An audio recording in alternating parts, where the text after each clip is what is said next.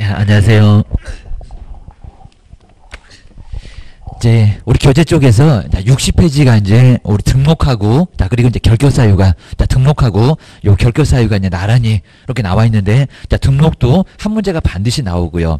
요거 이제 좀 어려우니까 설명부터 한번 바로 한번 해 보겠습니다. 그리고 결격 사유는 뭐 결격 사유도 한 문제가 반드시 나오는데요. 자 먼저 자첫 번째 우리 등록은 중개사무소를 우리 사장님 될 때입니다. 자 중개사무소를 어떻게 해야 될까요? 여러 제도가 있습니다. 뭐 허가도 있고 그다음에 신고도 있고 그다음에 등록도 있고 그리고 무슨 뭐 특허 같은 것도 있을 겁니다. 그리고 또 인가도 있을 겁니다. 공법에서 많이 배우실 건데 자 먼저 우리 중개사무소는 등록이다 보니까요 신고보다는 좀 까탈스럽고 신고는 서류만 맞으면 무조건 받아줍니다. 접수 의무가 있습니다. 그 성격을 알고 계셔야 됩니다. 근데 허가는 재량이 있다 보니까 요건을 다 갖췄는데도 저 시공구청에서 안 받아줘. 라고 허가. 자, 그런 허가는 이제 저기 용도 변경에서도 뭐 위로 올라가고 내려가고 이런 것들을 배우실 겁니다. 허가 안 내줄 수도 있다는 겁니다. 뭐 개발행위 허가. 그런 것도 성격이 똑같습니다. 허가 안 내줘. 그러면 그 누구도 따질 수가 없습니다. 소송가도 절대 안 됩니다. 근데 우리 등록은 그렇지 않습니다. 딱 중간입니다. 신고보다는 좀 까탈스럽고 요건이 있어서 그렇습니다. 그걸 채워라. 그입니다. 근데 허가처럼 안 내줘. 또 그런 건 없습니다. 요건만 맞으면 얼마든지 내주게 됩니다. 됩니다. 그러니까 중개사무소 옛날에는 허가제가 있었습니다. 우리 약국처럼 중개사무소 한 곳에 너무 많으면요. 거기 안 내줘. 더 못 들어가. 이러기도 했습니다. 근데 지금은 안 그렇다고 합니다. 얼마든지 돌아. 정말 오다 가다 보게 되면 뭐 큰 건물 있으면은 거기 중개사무소 1층을 다 차지합니다. 자, 그런 거 보니까 개수 제한 안 하는구나. 그게 등록 때문에 그렇습니다. 얼마든지 들어가고 싶으면 들어가라. 그 얘기입니다. 그래서 이제 거기 등록이고요. 하여튼 신고하고 허가에 딱 중간적인 성격. 아마 거안 바뀔 것 같습니다. 갑자기 허가로 바꿔놓으면 국민들이 가만 안 있을 겁니다. 그리고 이제 결격 사유는 자격을 결한다. 뭐 요놈도 뭐 무조건 한 문제가 나오는데 좀 이따가 볼 건데 근데 내용이 좀 너무 많습니다. 그래서 좀 어렵기는 한데 자, 누가 중격 못하냐? 그게 바로 결격. 우리 이제 보통 이제 너 결격이다. 그럼 너는 빠져. 너는 안 돼. 여기 바로 결격입니다. 결격 사유에 해당되는 거 12개나 나옵니다. 자, 시험 문제가 형태도 거의 정해져 있습니다. 자, 그러면 이제 나 먼저 첫 번째 이렇게 이제 등록. 자, 요 등록에서도 한 문제가 반드시 나오는데요. 근데 30회 때는 이상하게 한 문제를 빼먹었습니다. 자, 그런 문제가 거의 없었는데 한 문제 빠뜨리고 넘어갔습니다.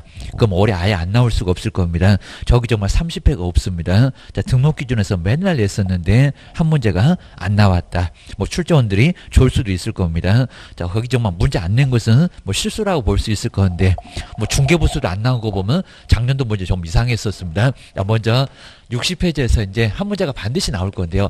등록.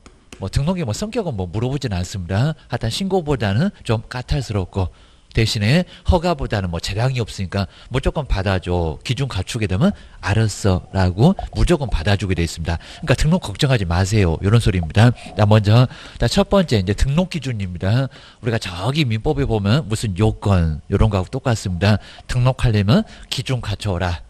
그리고 이제 뭐 이런 기준을 이제 뭐 의미는 없지만 요건 그렇습니다. 요건 요런 요런 요건을 갖춰라. 그래야 이제 효과가 발생한다. 라고 해서 자 그런 의미를 똑같이 갖고 있습니다. 근데 첫 번째 이제 우리 공인중개사는 잘 안 물어볼 건데요. 공인중개사인 개업 공인중개사가 이제 갖춰야 될 거 바로 네 개. 라고 해서 개수를 꼭 정리해 놓으시고요.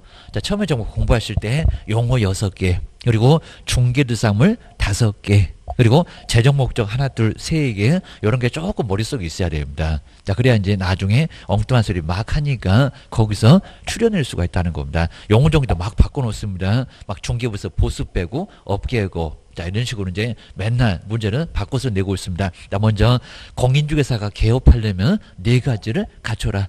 근데 우리 시험 문제 그렇게 안 냈었는데 실무 교육도 여기다 이제 쓸 건데 실무 교육도 등록 기준이다 갑자기 그렇게 내놓으니까요. 이 문장이 또 뭔가라고 해갖고 요즘 정말 수능처럼 비슷하게 가고 있습니다. 문제 많이 내니까 아주 이제 별짓을 다 하는 것 같습니다. 자, 시간도 없는데 생각해봐라. 법전에는 그런 게 없으니까 그렇습니다. 뭐 여기 보면 있을 건데 왜 그거 모르냐고 됩니다. 사무소 얻는 것도 등록 기준이다. 맞습니다. 근데 보증 설정은 없다. 그입니다. 먼저 첫 번째 공인중개사일 거. 근데 꼭 조심하실 게 항상 우리 변호사가 이제 우리 이제 변호사가 중개업을 하려고 등록 신청을 한 적이 많았습니다. 근데 또 판결이 나왔습니다. 또 변호사 안 된다.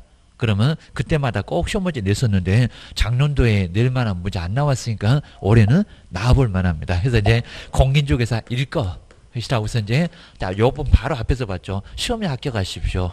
그럼 평균 60점 되십시오. 꽈락은 없으십시오. 자 그런 거 아예 안 물어볼 정도인데 시험도 하나 물어보긴 합니다. 누가 시험을 시행하냐. 그다음에 응시 수수료 접수를 취소하면은 얼마 내주냐 이런 것들 위주로 한 문제 꼭 대비하셔야 됩니다. 공인중개사일 거. 근데 자 먼저 이제 요번에도 최근에도 여기도 나올 만한 시가 됐는데 변호사 딱 이렇게 나왔었습니다.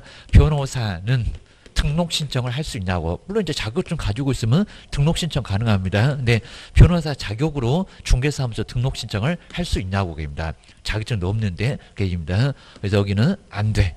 자, 이게 뭐 가능하다 이런 식으로 시험 문제 나온 적이 있었다는 겁니다. 딱 24회였습니다. 근데 또 최근에 시험 문제 또 나올 만한 시기가 딱 돼서 또 변호사 안 된다. 그러니까 두 번째 지금 변호사 중개하려고 시도를 하고 있다는 겁니다. 근데 안 돼. 라고 판례가 나왔다는 겁니다. 자, 그러면서 딱 작년도에 나올 만한 문제 시기였는데 딱 빼먹었으니까 이제 올해 나올지 모른다. 견우셔야 됩니다. 딱 용장 요대로 하다 변호사 안 돼. 억울하면 시험에 합격해봐봐. 입니다 개론이 얼마나 어려울까. 변호사가 제일 약한 게 숫자입니다. 그러다 보니까 문과생들은 보통 다 그렇습니다. 저 이과나 뭐 수학이나 과학 이런 걸 잘할 겁니다. 정말 어려워갖고 개론은 제가 장담하지만 정말 꽈락 나올 겁니다. 기억을 주셔야 됩니다. 그 정도로 그냥 민법만 잘해요. 그럴 겁니다. 세법도 그다음에 뭐 공법도 정말 어려울 겁니다. 자, 우리 공법도 이제 판례만 딱 보고 뭐 재건축만 딱 보고 뭘막 물어봅니다. 이게 뭐냐고 뭐 관리 처분이 뭐냐 이런 것들도 변호사가 알기는 좀 어렵다는 겁니다. 그러셔야 됩니다. 그다음 두 번째가 이제 교육 받으십시오. 여기서 정말 많이 속였습니다. 무슨 교육을 받을까요? 그러니까 출제 포인트 딱 보게 되면 알 수가 있고요.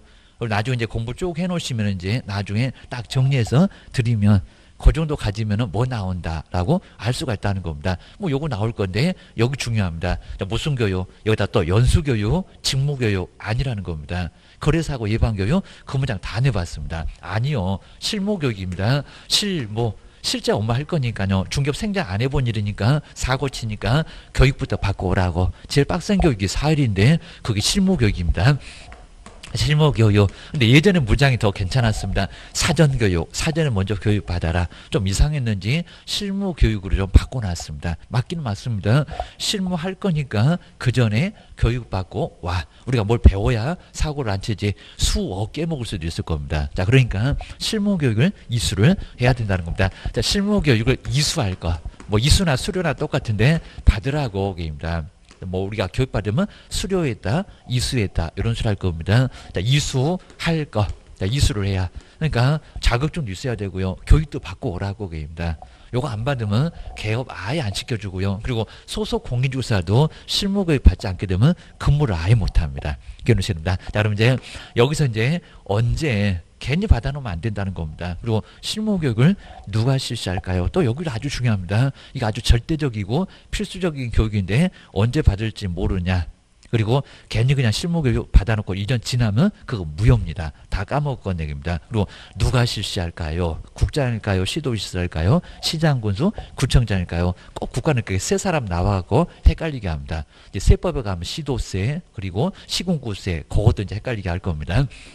자, 그럼 이제 등록 신청일 지금 등록 신청하러 갔잖아요. 등록 신청일 요 문장 조금 약간 애매합니다. 등록 신청일 그 전에 받을 건데 게임입니다. 그러니까 요 문장 자세히 정리해 놓으셔야 되고요. 등록 신청일 기준에서 그 전에 그 전에 받았을 건데 요거 2년이라고 속여 본 적도 있습니다. 몇 년? 1년입니다. 정말 맨날 숫자 속입니다. 한 번은 6개월 속여 봤습니다. 6월. 근데 2년, 2년이면 정말 다 교육받고 다 기억 속에서 다 사라졌을 겁니다. 우리도 정말 돌아서면 다 잊어버리는데 자 이러니까 2년 지나면 절대 안 된다는 겁니다. 1년 이내에 정말 딱 1년 간다고 했습니다. 약발은 자 1년 이내에 실무 교육을 받았어야 된다는 겁니다. 이렇게 수료를 1년 이내 수료를 했어야 이거 유효. 그러니까 거기 보게 되면 수료증에 보면 기간이 나와 있을 거라는 겁니다. 이미 끝났네요. 이런 식으로 해갖고 쓰레기통에 집어넣을 겁니다. 또 이제 13만 원 내놓고 금액은 안 물어올 건데 4일 동안 빡세게 교육을 받고 와야 됩니다. 꼭 끝나면 또 시험이 있습니다. 자, 그거 시험 안 너무 쉬워서 그냥 모르면 그냥 정답을 또 알려주기도 하는데 그입니다. 그다음 누가요? 시도지사가 이제 여기도 속일 겁니다. 옛날에는 국토교통부 장관이 실시를 할 때도 있었습니다. 근데 제일 엉뚱한 사람 시장군수 구청장 당신은 등록이나 받아주세요. 그럴 겁니다. 자 시도사 우리한테 자격증 주신 분 자격증 누가 줬냐고 올 작년에도 뭐 국토교통부 장관이 자격증 교부한다. 이런 아주 엉뚱한 소리가 나왔습니다. 시도지사가 그리고 여기는 실시한다는 겁니다.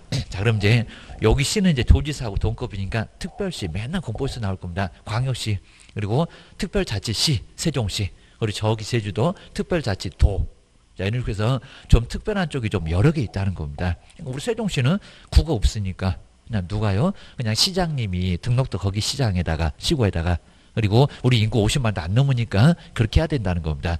여기 좀 특별한 시가 있다 하는데 뭐 시험 문제 심하게 안 물어볼 거니까 그냥 시도지사가 실시하는 실무 교육을 받아오라는 겁니다. 그럼 여기다 이제 엉뚱한 소리 할 건데 국토교통부 장관 나란히 바빠요. 그래서 그리고 시장군수구청장 아니요 게입니다. 등록이나 잘 받으세요. 이런 분이 실시하는 것은 절대 아니라는 겁니다. 꼭 이런 포인트를 잘 정리를 해 놓으시면요. 이런 거 이제 정리 잘 해 놓으시면 딱 시험장 가가지고 여거 엉뚱한 소리 하고 있네. 금방 알 수가 있습니다. 문제 열심히 읽으면 머리만 아픕니다.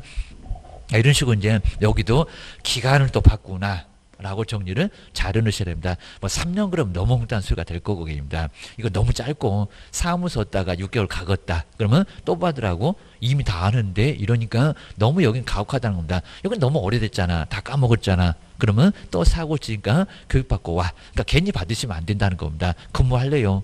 등록 신청할래요. 그러면 받으셔야 된다는 겁니다. 안 그러면 괜히 생돈 날아갑니다. 그다음 이제 사무소 요 세 번째는 오히려 시험문제 감에서 더 많이 나왔고요. 아마 횟수로 보면 중개사무소가 가장 많이 나왔을 겁니다. 사무소 갖고 등록하니까 중개사무소입니다. 자, 중개사무소를 근데 자, 우리 시험 문제가 이제 요거 기출 문제였습니다. 무슨 확보 계획을 수립할 거 이렇게도 내봤습니다. 너무 어이없습니다. 확보할 거. 사무소를 확보를 해야지 무슨 계획을 수립하냐고 어디 뭐 공법이냐고 무슨 도시관리군 계획이니 도시공개 이런 거 말이 안 된다는 겁니다. 계획 자, 이런 건 이제 다시는 안낼 겁니다. 뭐 본인 내놓고도 너무 코미디 같다고 했을 겁니다. 사무소를 얻어야지 무슨 확보 계획을 수립하냐고 입니다. 얻어라. 요거 기억을 하셔야 됩니다. 아, 그러면서 이제 첫 번째, 두 번째, 이제 요걸 또 잘 정리를 해놓으실까요? 자, 먼저 건축물 대장에 기재가 돼야 됩니다. 그래서 이제 확실한 건물을 요구합니다. 건축물, 이렇게 건축물 대장입니다. 근데 등기가 아닙니다. 건축물 대장에. 그리고 기재된 이렇게 기재된 건물을 사무소 정말 여기는 좀 까탈스럽습니다. 왜요? 큰 문제가 발생하니까 막 무너질 수도 있으니까 기재된 건물 자 건물에 바로 사무소를 확보를 해야 된다는 겁니다. 근데 오히려 요 가로입니다. 근데 가설 건축물 대장이 있습니다. 저기 컨테이너 하우스 가설 그리고 건축물 대장은 요 가설 건축물 대장입니다. 가설 건축물 대장은 포함일까요? 제외일까요? 그러니까 이거 되겠냐고. 우리 오다가 다 중개사무소 가보시면요. 저기 어디 허접한 컨테이너 하우스 그런 데다가 가설 건축물 대장에다가 중개사무소를 차려놨나요? 입니다. 아닙니다. 다 주변에 보게 되면 다 군인생활시설이라고 해서 상가 밑에 이런 쪽에다가 다 중개사무소 얻어놨지. 절대로 가설 건축물 대장 이런 데는 정말 없다는 겁니다. 안 받아줘. 견우셔야 됩니다. 가설 건축물 대장은 그러니까 여기다 이제 포함한다 이렇게 나올 건데 아닙니다. 뭐요? 제외 안 된다는 겁니다. 안 돼. 그러니까 제외한다. 꼭 이렇게 시험 문제가 가로 있는데 포함인가 제외인가 저기 소속 공인중개사 임원 사원도 포함한다 제외한다 라고 해서 그거 갖고 정말 심하게 냈습니다. 여기도 만만치 않아요. 그러니까 안 된다는 소리입니다. 가설이 어떻게 되겠냐고 제외한다. 자 그러면 포함한다. 안 받아줄 건데 정말 저기 쓰레기통에 정말 들어갈 겁니다. 안 돼. 라고 받아주지 않습니다. 견우셔야 됩니다. 그래서 이제 가설 건축물 정말 아예 안 되고요. 그리고 사용 검사입니다. 근데 기재가 안 됐는데 사용 검사 등은 받았다는 겁니다. 여기 문장이 계속 지금 가로 있는데 사용 검사.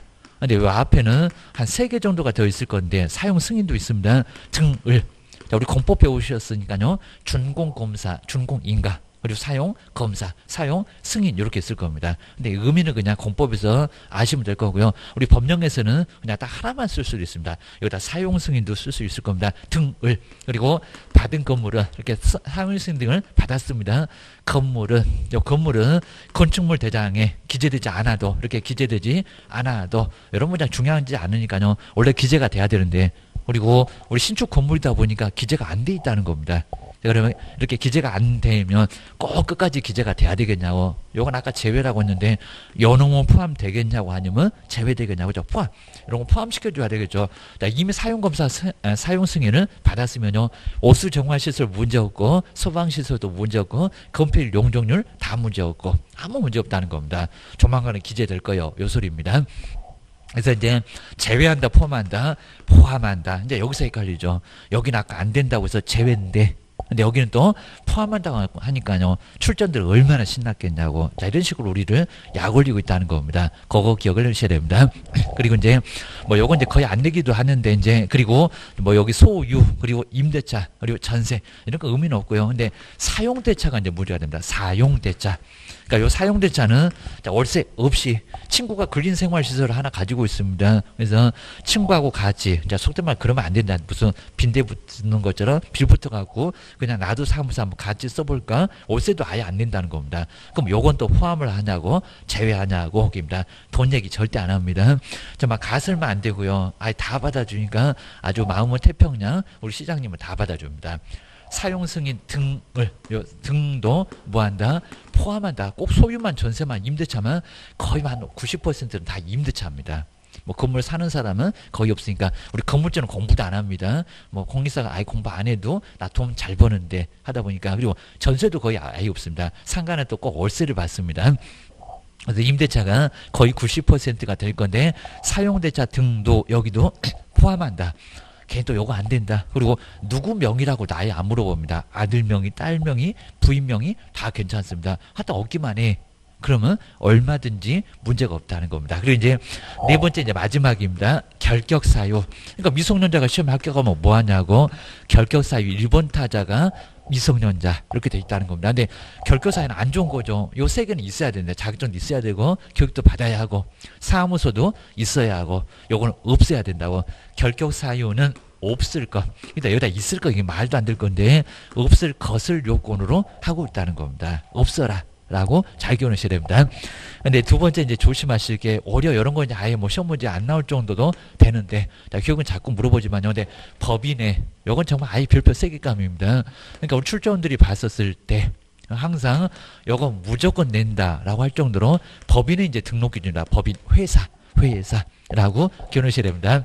회사 이제 우리 등록 기준인데요. 나머지 이제 여기도 사무소 얻어라, 교육 받아라 이런 수란데 특히 세 개. 요 세 개만큼은 아주 중요하고요. 그리고 여기 세 개는 좀 안 내본 적이 없을 정도로 그리고 안 내본 무장이 없을 정도로 이미 기출문제로 이미 다 나와 있습니다. 더 이상 아마 무장 바꾸기도 어렵습니다. 먼저 첫 번째. 자, 첫 번째 먼저 상법상 회사 여기는 회사입니다.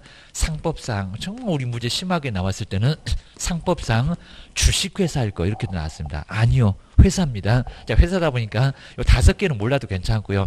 우리 저기 바깥에 주식회사가 거의 90% 넘어갈 정도로 자, 거의 대부분은 다 주식회사라고 합니다. 그리고 유한. 그리고 합자회사, 한명회사, 유한책임회사. 근데 거기에 상법이 있다 보니까요. 남의 법을 끌어다가 문제 내면 출제법을 벗어났다고 나중에 또 이재기할 수가 있습니다. 그러니까 그 정도는 아예 안 물어보니까요. 그 다섯 개 성격이 뭐냐고는 절대 안 물어봅니다. 뭐 한 명이나 합자는 무한책임회사인데 안 물어봐요. 그냥 상법상 회사 여기다 주식회사 그러지 말라는 겁니다. 그럼 뭐 유한 합자는 안 되냐고 요 소리니까 그냥 회사 골라먹는 재미가 있다는 겁니다. 회사 근데 상법상 회사로만 그러면 안 됩니다. 옛날에는 그랬었는데 지금은 또는 그러니까 또 여기서도 하나 선택할 수 있다는 겁니다. 협동조합 뭐 앞에 뭐 협동조합 기본법 그런 거 필요 없습니다. 협동조합 이 가능한데 조심하실 게 협동조합에도 여러 종류가 있습니다. 근데 사회적인 또 협동조합이 있습니다. 그럼 이제 사회적 그러니까 여기 문장에 사회봉사가 있습니다. 봉사 그 무료 입니다 사회적인 협동조합은 뭐 여기도 뭐 나오게 되면 요거 이제 딱 한 번 정말 출제했을 정도로 여기는 최근에 등장했습니다.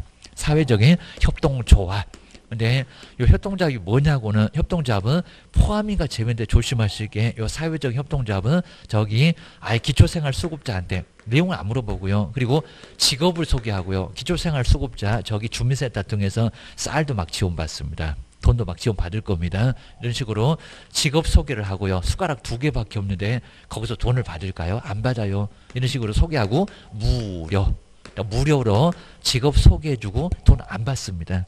그럼 잘 보실까요? 우리 중개업에서 보수를 어찌해야 되냐고 보수를 받고 보수를 받고 그랬습니다. 그러니까 보수를 안 받으면은 등록 신청이 될까 안 될까요? 아예 안 됩니다. 보수 정말 안 받으면 중개업 자체가 안 된다는 겁니다. 그러니까 무료니까 사회적인 협동조합은 여러 뭐 내용 물어보지 않을 거고요. 포함인가 제외인가 입니다. 제외.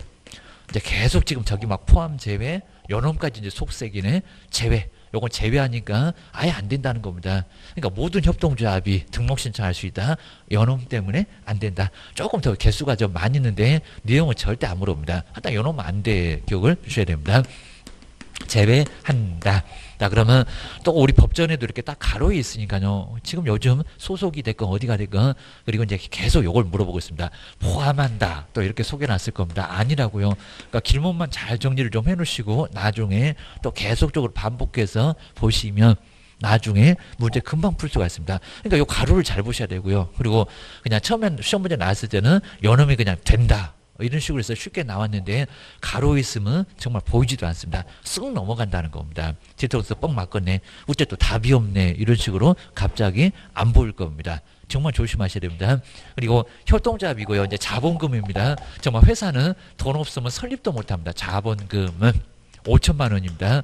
5천만 원 이상을 이렇게 5천만 원 이상을 확보를 해야 됩니다. 5천만 원 이상을 확보할 거 정말 돈 없으면 나중에 우리 보증 설정 금액 뭐 1억 이내 법인은 또 주된 사무소 2억 이내 그 금액 말고요. 자본금 회사 설립할 때 돈이 있어야 된다는 겁니다. 옛날에 아마 보증보험도 가능했었던 것 같은데 지금은 현금이 꼭 있어야 된대요. 통장이 거기에 있어야 된대요. 이상을 확보할 것. 라고 해서 이제 돈 없으면 정말 법인은 설립할 수도 아예 없다는 겁니다. 근데 그냥 공인중개사 전혀 아니었습니다. 뭐 돈이 있든지 말든지 회사든지 말든지 신경 안 썼습니다. 근데 법인은 안 그래. 기억을 하셔야 됩니다. 두 번째가 이제 법 14조를 보실까요? 법 14조.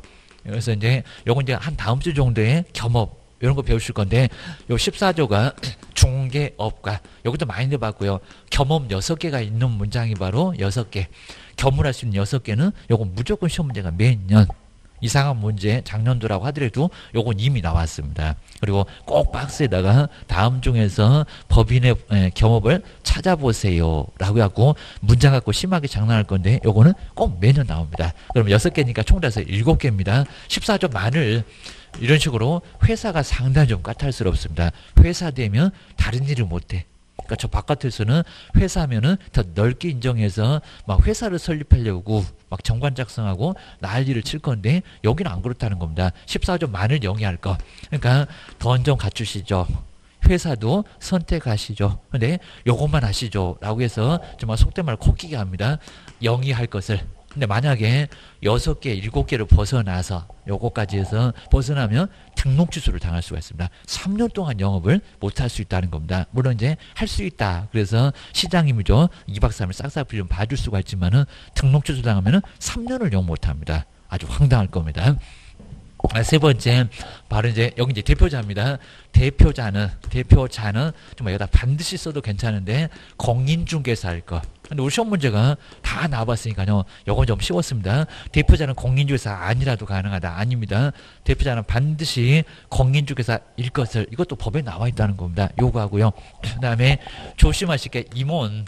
근데 사원은 임원 사원 중에서 여기 이제 대표자 제외합니다. 뭐 임원 사원에 대표자가 포함되어 있다. 또 거기도 내본 적이 있는데 대표자 빼고 임원 사원의 그리고 숫자입니다. 3분의 1입니다. 요거 정말 속여볼 만합니다. 2분의 1로 3분의 1 과반수 아닙니다. 1 그리고 이상이니까 여기다 또 초과 그러면 안 되고요. 3분의 1 들어갑니다. 이상 이하는 초과 미만이 안 들어갑니다. 자, 이상은 그리고 저 대표자가 공인중개사인 것처럼 뭐일 것을 공인중개사일 것을 공인중개사일 것을 요건으로 하고 있다는 겁니다. 자, 이런 문제 정말 여기는 안 나본 적이 없고 정말 어떤 문장이 정말 다 나와서 여기는 기출 문제만 잘 풀어봐도 더 이상 빠져나갈 게 없습니다. 조심하셔야 됩니다.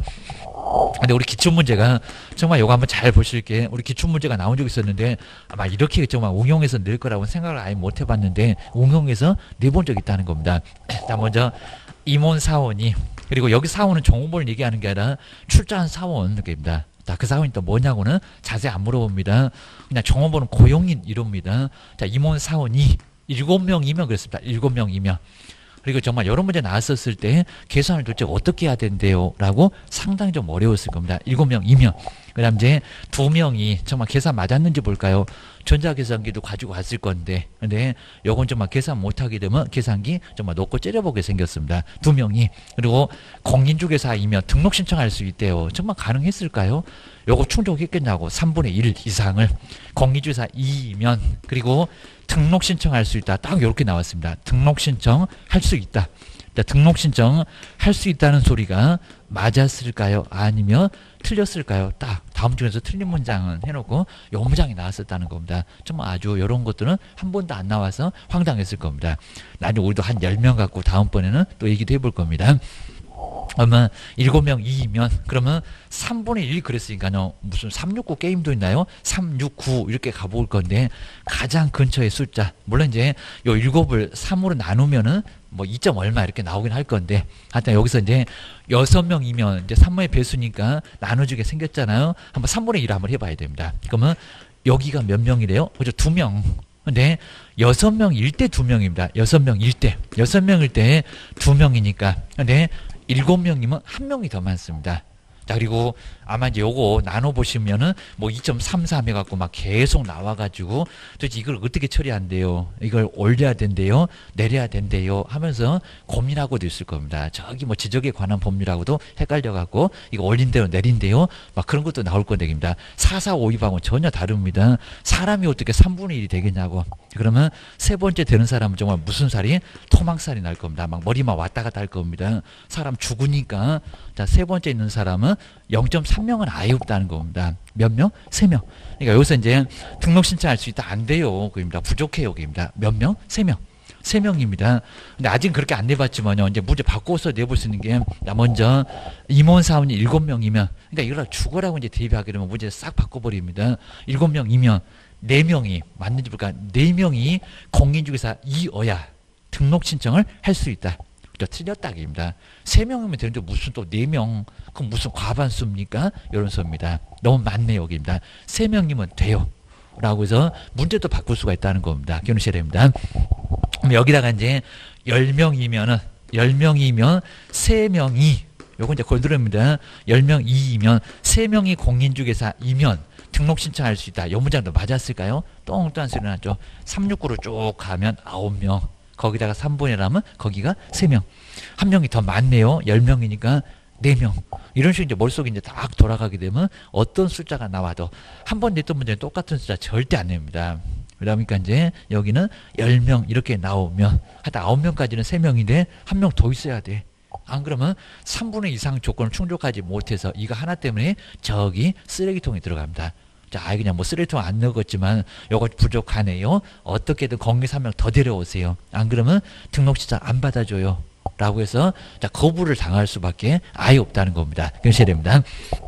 그다음 이제 정말 이렇게나 요건을 많이 갖춰놓고 그러니까 요건이 중요할 수밖에 없고요. 그리고 안 된다고요. 자 이러니까 이제 두 번째 이제 등록 신청입니다. 이제 와갖고 해갖고 이렇게 해서 이제 등록 신청하게 될 건데 나 먼저 첫 번째 우리 등록 관청은 어딜까요? 이제 정말 이제 많이 헷갈립니다. 그러니까 처음에 우리 강의직이었던 시군구 시도 국토교통부 장관 그게 정말 정리가 안 되게 되면 여러 군데 속색입니다. 그래서 여기 이제 등록관청은 가까운 쪽 가까운 쪽 그럼 국토교통부 아닙니다. 시도 아닙니다. 어디라고요? 시군구 시군구는 200개가 넘는다고 했습니다. 정확하게 한 226개가 된다고 합니다.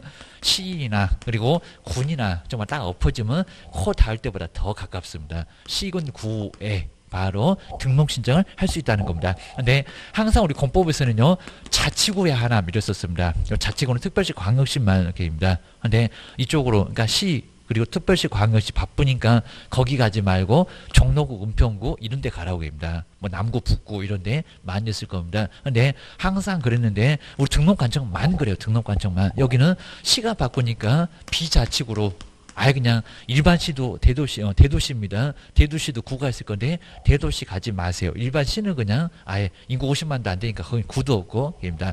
그럼 무조건 시를 가야 될 건데 비자치구도 인구 50만 넘는다는 대도시의 비자치구도 다 포함을 합니다. 이건 아예 공법에서는 무조건 요건데 예외도 없습니다. 그리고 단 쪽에도 마찬가지예요. 항상 자치구에 하나 이랬었는데 여기만큼은 피자치고 가라는 겁니다. 그러니까 우리 아주 예전에는 다음 중에서 등록 신청 가능한 곳은 이런 식으로 다섯 개 시가 쭉 나오거나 막 구가 나오거나 난리가 났었다는 겁니다. 이런 식입니다. 이런 식으로 자치구 비자치구 묻지 마세요. 하여튼 구만 있으면 무조건 가서 저 구로 가야지 시로 가지 마세요. 바쁘대요. 안 받아줘요. 받아줄 수가 아예 없으니까 등록 신청부터 오락가락 하실 거냐고.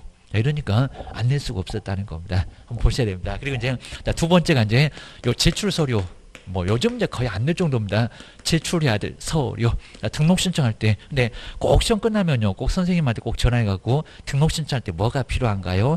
자 그렇게 정말 물어보신 분 정말 많습니다. 그럼 정말 속으로는 어떻게 합격하셨을까라고 해서 용하다라고 할 정도로 그냥 자 그거 다 교재 있는데 배웠는데 자꾸 물어보십니다. 이러셔야 됩니다. 자, 그러면 이제 우리 신여사 괜히 이렇게 앞글자 잘못 따놓으면은 나중에 헷갈리니까요. 나중에 정리는 좀 해놓으셔야 됩니다. 신여사라고 해서 이제 이게 또 김여사 생각나면 이제 아예 정, 정리가 안 될 건데 신여사가 시험장에 입실했대요. 이렇게 딱 정리하면 요 다섯 개가 제출 서류. 자, 먼저 신청서가 필요합니다. 신청서.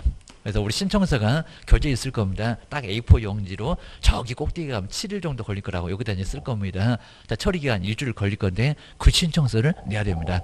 우리 위법에서 요식행위다 이렇게 봤을 겁니다. 요식. 그렇죠. 방식을 갖춰야 그래야 유효로 효력이 있다는 겁니다. 하여튼 공무원들은 엄청 서식을 좋아합니다. 그 서식이 없으면 무효가 된다는 겁니다. 안 받아줘. 무조건 서식 써서 내야 됩니다. 약간 복잡하니까 상당히 좀 많이 오랫동안 쓰셔야 됩니다.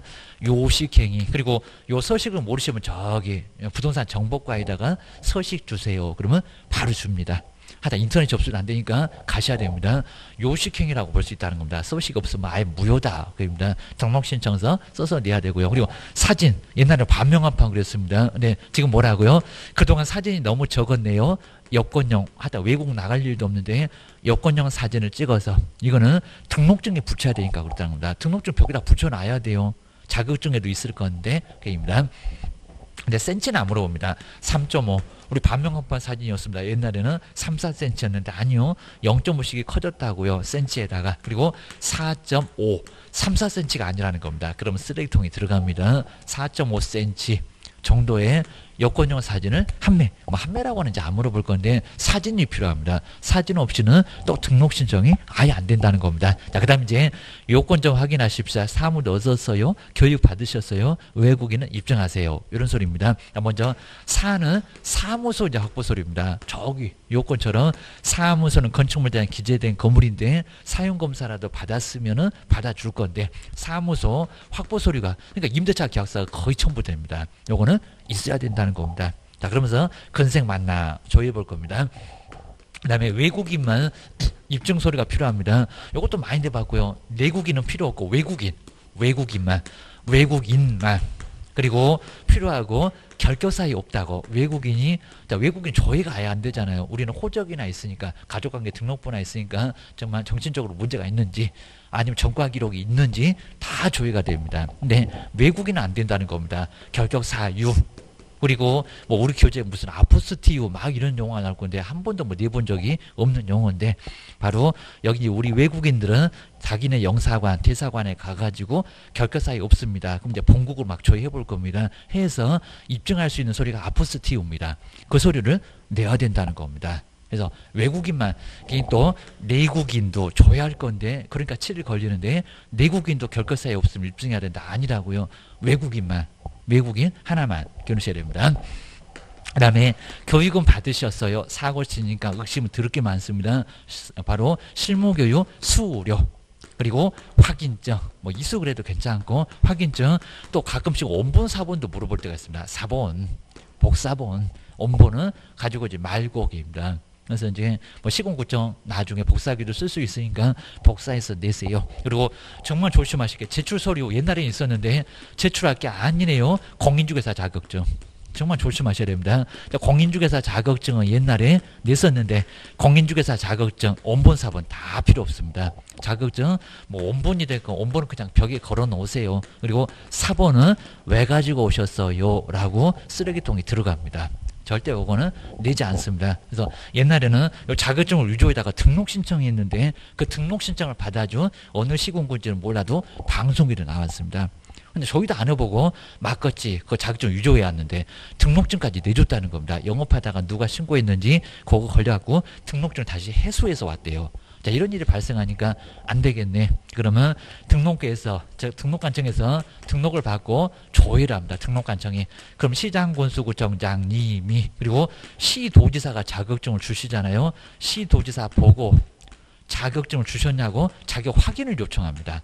이런 문장이 나와 있는데 확인을 이렇게 요청해서 직접 내 눈으로 시장님이 확인하게 돼 있다는 겁니다. 그럼 얼마나 명백하냐고입니다. 막 주민번호 쳐봅니다. 자격증 있나 없나. 그러면 자, 문제 없으면 받아주고 쳐보니까 정말 자격증 없네. 그럼 이제 공무집행 방해죄로 교도소 보내버릴 수도 있을 겁니다. 조심하셔야 됩니다. 이 정도고요.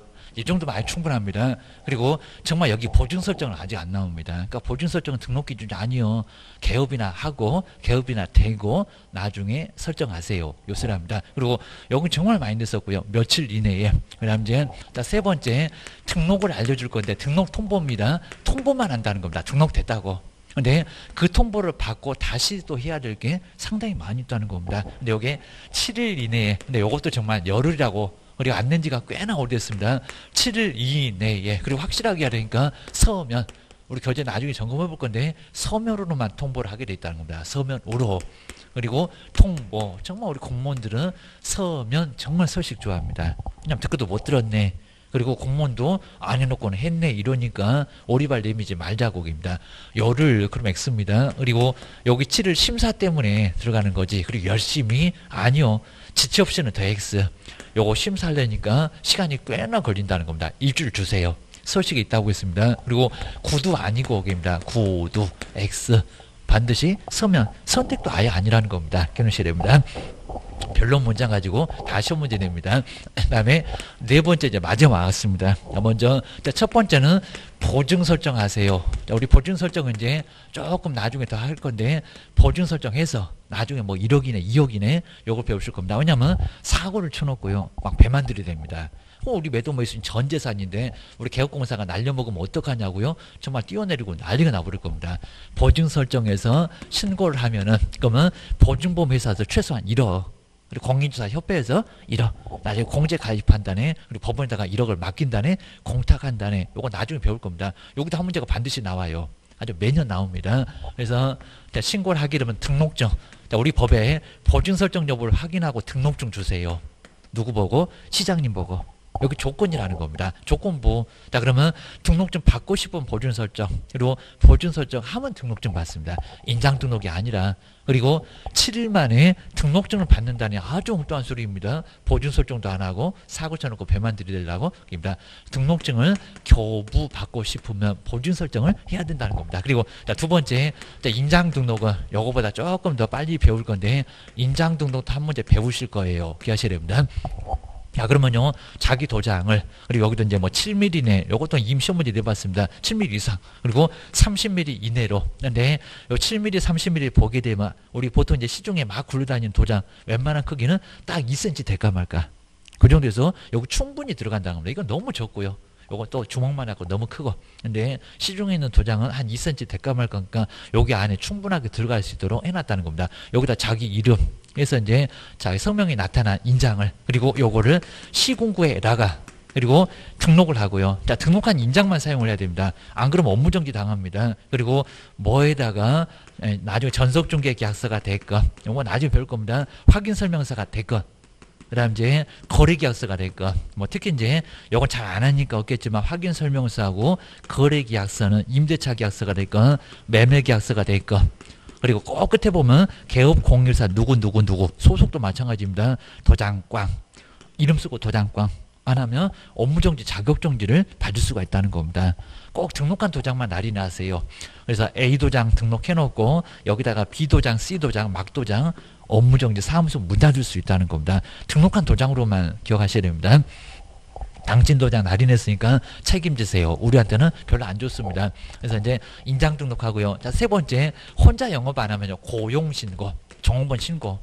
고용이면은 소속 공인중개사 중개 보조 그리고 정말 혼자 영업하시면 정말 아예 안 됩니다. 그래서 고용 신고. 근데 요게 이제 업무 개시자. 이게 머릿속에 꼭 정말 정리가 꼭 돼야 됩니다. 뭐 요거 하나 나올 거고 요거 요거 다 하나씩 다 나옵니다. 따로. 근데 하여튼 등록 업무 개시 전까지 이렇게 해서 이제 요걸 절차를 맞춰야 그래야 이제 문제가 없다는 겁니다. 나중에 배울 건데요. 만약에 인장 등록이나 고용 신고 안 하면 제재가 업무 정지입니다. 돈 깨지는 게 아니라 사무소 문 닫으세요. 한 6개월 정도 안에서 사무소 문을 닫고 노셔야 될 수가 있고요. 그리고 보증 설정 안 되면 등록 취소를 제재가 더 큽니다. 별제니까 등록 취소 받는데 그나마 이제 상대적입니다. 2박 3일 싹싹 빌면 봐줄 수가 있겠지만 나중에 보증 설정 안 되면 등록 취소 받고 3년 영업 못할 수 있을 정도로 제재가 엄청 큽니다. 요거 꼭 기억하셔야 됩니다. 자, 그럼 이제 정말 아예 매년 한 문제는 무조건 낼 정도니까 그럼 이제 한번 우리 교재 한번 밑줄만 밑줄만 한번 얼른 그거 보시면 좋을 것 같습니다. 그리고 첫 번째 이제 개인 그리고 법인 정말 공통적으로 갖춰야 될 것들. 자, 먼저 등록 신청하려면 그리고 이제 서식을 아까 이제 보셨던 신청서를 갖다 첨부를 해서 중개사무소 그리고 시장군수구청장인데 그러면 시간 너무 길어서 우리 법전에도 정확하게 거의 한 줄을 차지할 정도입니다. 시장 그리고 바로 아래 보실까요? 군수, 구청장. 그러니까 시도 그럼 말이 안 되겠죠. 그 정도 너무 쉬워서 내지도 않았습니다. 국토교통부 그러면 더 X입니다. 어디 세종시를 가라고 그 얘기입니다. 자, 그 정도다 보니까 시장 군수구청장에게 등록 신청을 해야 된다는 겁니다. 딱 거기만 보면 되겠네요. 그리고 자격증은 낸다, 낸다, 안 낸다. 거기 나오죠. 자, 그러면서 이제 자격증을 발급해 준 시도지사에게 그리고 등록 신청하려는 자가 자격증을 가지고 있는지 확인 요청을 해야 된다는 겁니다. 그러니까 낸다 안 낸다 안 낸다. 좀 이따 이제 제출 소리 한번 볼 겁니다. 안 내. 라고 기억을 하셔야 됩니다. 그리고 이제 이제 요건 한번 보실까요? 첫 번째 꼭 제목만 공인중개사 자격증이 있을 거, 자격이 있을 거. 그럼 시험에 합격하세요. 일 거. 두 번째 무슨 교육 받으라고 정말 많이 내봤습니다. 실무 교육. 시험장 같은 연수교육, 직무교육, 거래사고 예방교육, 엉뚱한 소리 하시네. 그리고 뒤에 이제 교육을 다 배우실 겁니다. 정말 다 X 해놓으시면 좋을 것 같습니다. 연수 X, 직무 X, 거래사고 예방교육 X, 실무교육, 그리고 언제, 그리고 누가 실시, 그거 저 굵게 써놨습니다. 제일 아래입니다. 등록 신청 일전 얼마라고요? 1년. 요걸 또 6개월 그리고 2년 속여본 적이 있었다. 그리고 누가 실시한다고요? 다른 사람 나온지 보셔야 됩니다. 시 도지사가 우리한테 자격증 주신 분 기억하셔야 됩니다. 그냥 오른쪽에 이제 61페이지 보실까요?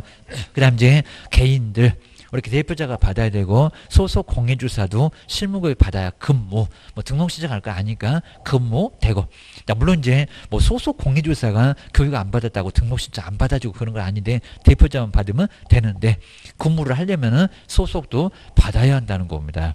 그 다음에 실무급여 면제 나중에 종료를 바꿀 때 뭐 이런 것들 잘 안 되긴 한데 이미 받았으니까 그건 안 받아도 괜찮다는 겁니다. 그리고 이제 전자문서 꼭 조심하실까요? 실무교육 수료 여부를 등록관청 이미 확인했다는 겁니다.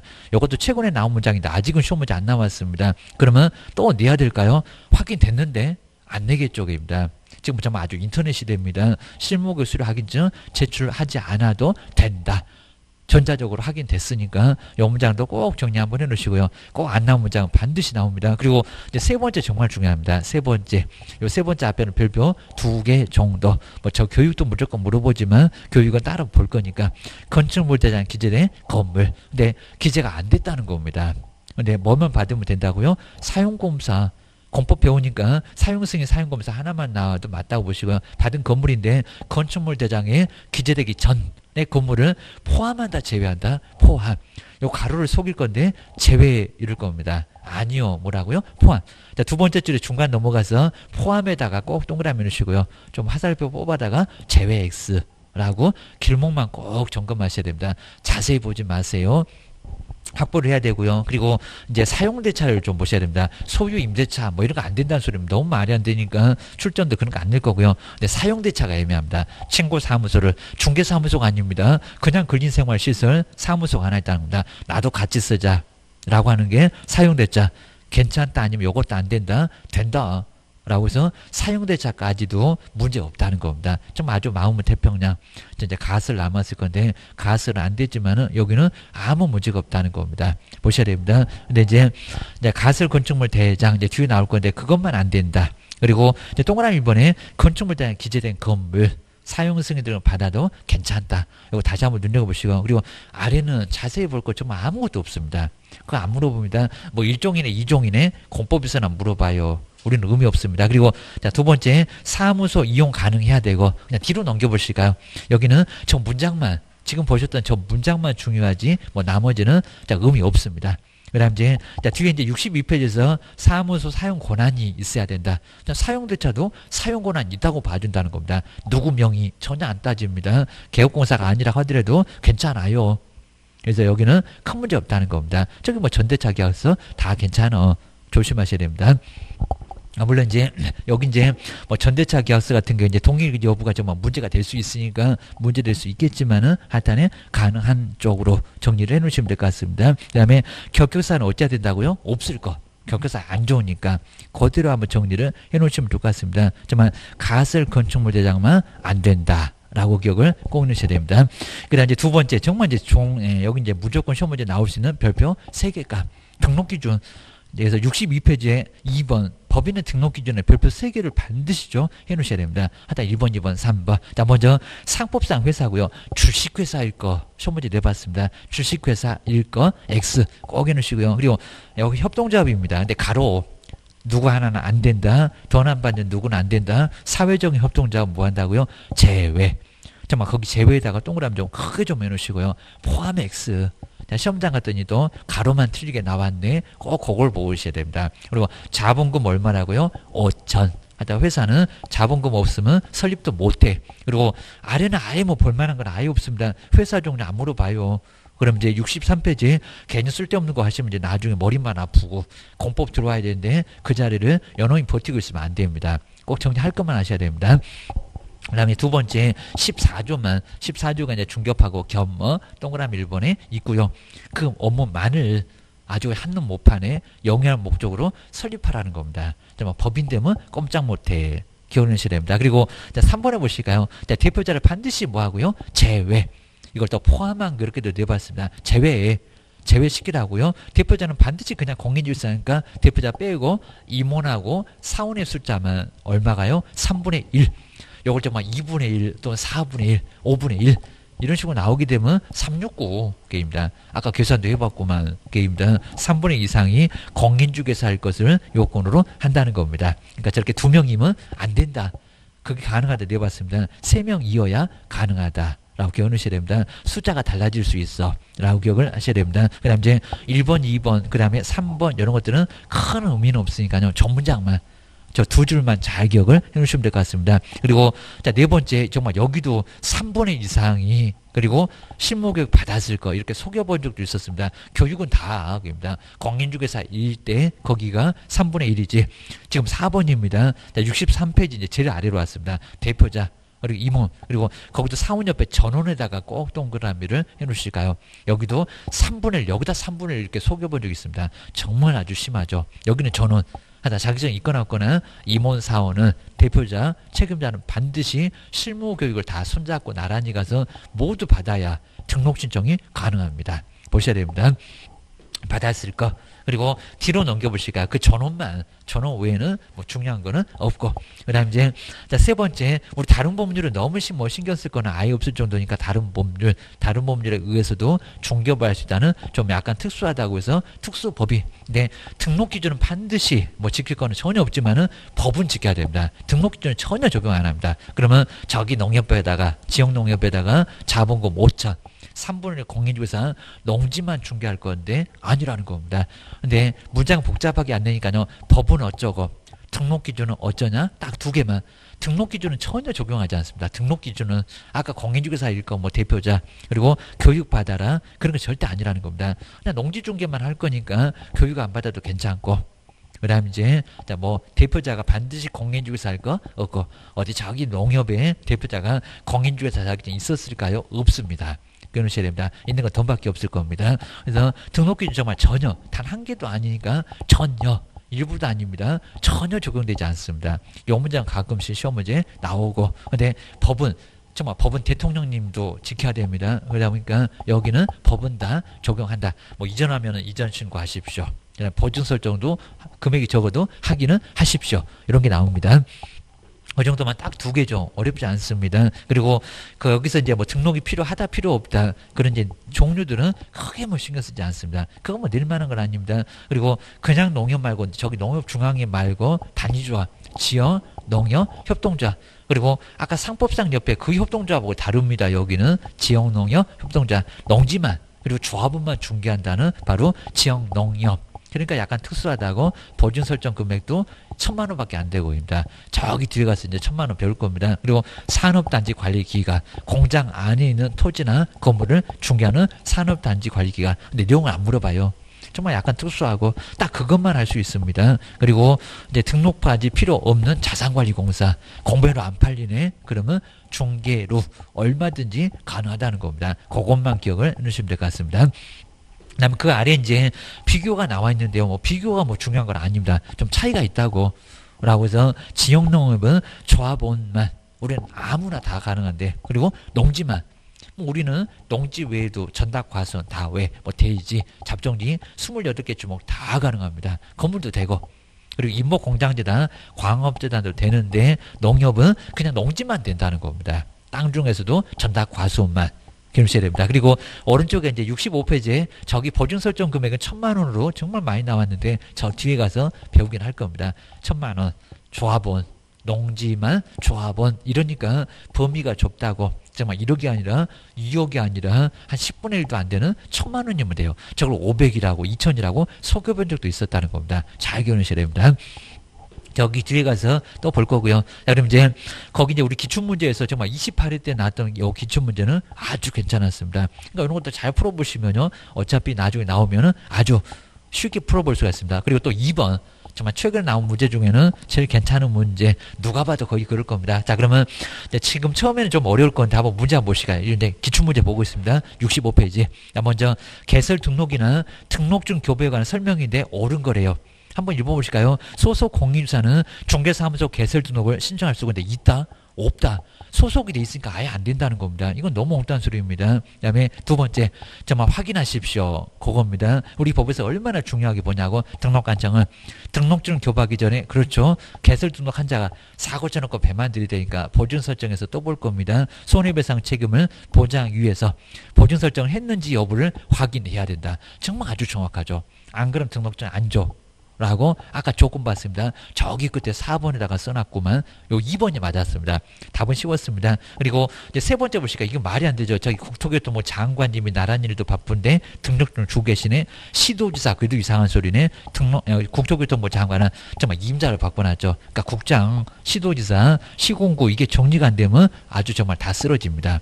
중개사무소 개설등 한자에 대해서 국토교통부 영해 설정하는 바에 따라서 서식은 거기 있으니까 그건 맞습니다. 네, 다 빼버릴까요? 국토교통부 장관이 등록증을 교부를 해야 된대요. 너무 엉뚱한 소리 나죠. 시공구 등록관청이 시공구인데 뭔 소리 한대요? 게임입니다.